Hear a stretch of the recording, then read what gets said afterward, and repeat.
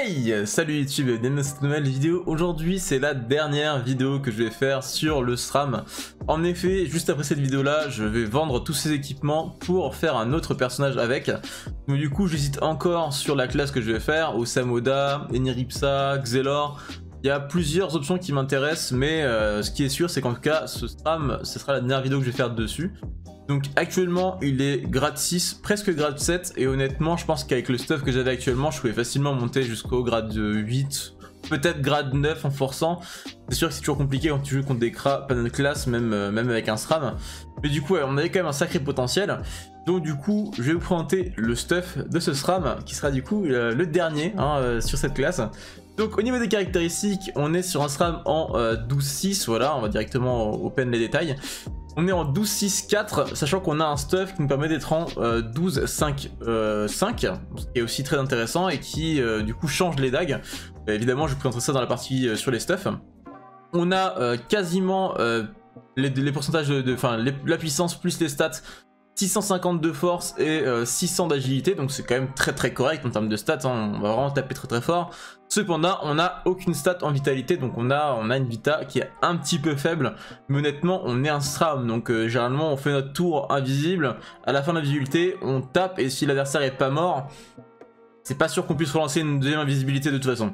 Donc voilà, on a 60 euh, de dommages euh, fixes, qui est plutôt très très correct. On a quelques bonus au piège, voilà, mais pas grand chose de transcendant. On est à 30 de CC, ce qui nous permet d'être 1 sur 2 sur nos sorts intéressants et au DAG. Et derrière, on a des trucs très très classique. Hein. Là, il n'y a vraiment rien, de, rien de, très particulier. Donc, on va passer directement euh, au euh, stuff. Au niveau des stuff, on a du coup le full Dofus que vous connaissez maintenant. On a la seule Monk PA qui est de retour. On a les bots Harris qui sont toujours là. Donc, c'est les mêmes bots que, euh, ce qui est sur mon EK. Globalement, on a la même, base de stuff que mon EK. On retrouve également le familier. On retrouve également le GNOPAPA de, de l'EK. Il n'y a que le reste qui change. Donc, on a donc une cape fulgurante Exovita on a euh, les dagues glacées, donc euh, qui sont très très bons jets, voilà, Exovita. Et du coup, on a le choix de mettre des dagues graisseuses à la place. Donc ça, c'est vraiment en fonction de l'adversaire. Généralement, tous les match-ups où vous allez être au corps à corps, vous allez prendre des dagues pour vous soigner. Et tous les match-ups où ça va être de la poursuite, typiquement les cras par exemple, on va plutôt jouer aux dagues glacées pour un PM supplémentaire. Ça dépendra vraiment des match-ups. On a la feuille de printemps pour l'APO, donc voilà, ça nous permettra vraiment d'avoir 2 PO de plus, donc ce qui est vraiment très très puissant. On a le petit anneau du melou pour la PO également. On a euh, la ceinture melou pour la PO également. du coup, on a un stuff qui est vraiment basé sur le fait d'être invisible et de pouvoir piège et euh, poison vraiment partout. Donc euh, donc c'est un stuff qui est plutôt efficace. On va directement passer au putsch pour vous montrer ça plus en détail. Voilà. On va commencer par les, par les petits poisons. Voilà, on va mettre un petit poison insidieux. Vous voyez à peu près les du poison insidieux. Derrière, on va se full boost. Voilà. Voilà. Je vais mettre euh, un petit piège mortel. Non, je le mettrai prochain tour. Voilà, on met 120 points de dégâts euh, au euh, poison insidieux. Je vais vous mettre aussi un petit piège empoisonné, même si malheureusement il n'est pas monté niveau max. voilà, et puis on va profiter des PA qui nous restent pour vous faire une petite attaque mortelle pour que vous voyez à peu près les dégâts. Non, on va faire des sournoiseries, sournoiseries c'est mieux. Vous voyez, on a quand même une bonne portée de base avec la sournoiserie quand même. On manque à les deux, voilà. Ça crit à 220 quand même, c'est quand même pas mal. Et là vous voyez du coup on met 3 euh, fois 120 de dégâts avec, euh, les, poisons et les pièges. Donc c'est quand même pas mal hein, de, mettre, euh, de mettre autant de dégâts avec des poisons. Sachant qu'on a un stuff qui est quand même basé sur le Rox des dagues glacées, donc je vais pouvoir vous montrer maintenant. Attention, les dégâts, ça ne crit pas, ça crit pas. Voilà, là on a un crit, donc ça tape quand même très très fort. Hein. Ça tape quand même très très fort, sachant que ça tape sur deux éléments, donc du coup c'est compliqué pour un adversaire de euh, bah, d'avoir des résistances par rapport à vous, parce que vous tapez neutre, vous pouvez taper terre, vous pouvez taper air, ça commence à être compliqué de gérer ça avec ne serait-ce que des boucliers et, euh, des familiers. Du coup voilà, on va finir encore hein, au dag, hein, du coup... Euh, on peut voir que les dégâts, ça tape très très fort, on voit des lignes qui dépassent les 300 parfois. Et pour terminer le putsch, je propose un petit piège mortel, voilà. Je pense qu'on va repartir sur un putsch vite pour montrer encore quelques autres dégâts. Et on peut voir, ouais, vraiment ça tape quand même euh, pas mal du tout. 450 piège mortel, euh, c'est très correct. Euh, je vais prendre un plus 50, c'est pas grave. Pour montrer vraiment les autres dégâts. Donc voilà, si je fais repérage... attendez, je vais me full booster. Tac, on va faire un petit repérage. passe pas en crit, c'est dommage. Donc je suis un sur de crit.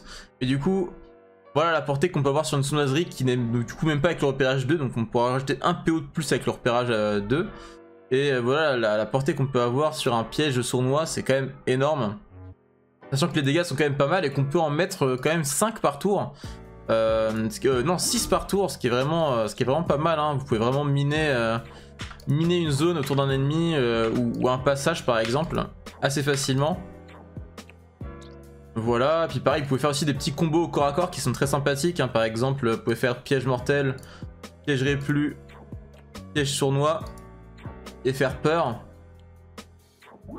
C'est quand même pas mal, hein. vous, pouvez, mettre des bons ou des bons dégâts euh, directement au, euh, au, piège quand vous êtes invisible.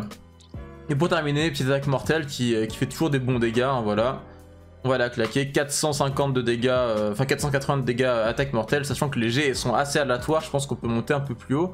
Mais bon, ah si, il y a les putsch, c'est bon. Hop, on va quand même essayer de faire une petite attaque mortelle. Pour terminer ce combat, hop, attaque mortelle. Voilà, ça passe à 500. 400, 300, bon voilà, c'est vraiment aléatoire comme, euh, attaque.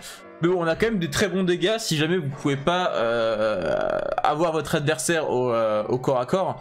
Euh, c'est toujours une, bonne solution euh, d'utiliser ça. J'ai aussi montré le vite fait les dagresseuses qui sont quand même des très très bonnes dagues qui permettent de vous soigner quand même pas mal. En plus c'est bien, il me manque quelques points de vie donc c'est parfait. J'ai même retiré encore un peu histoire qu'on voit vraiment euh, le, soin qu'on peut faire avec les dagresseuses.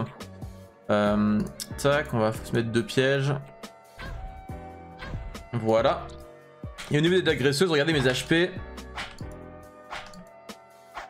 On a quasiment pas fait de coup critique et pourtant c'est quand même soigné 40, 40, 40 et 100 donc c'est quand même un, très très bon soin euh, contre un adversaire. Euh, c'est assez fort de, lui enlever 2000 HP et de, lui, vous soigner 200 euh, HP, c'est quand même très très fort.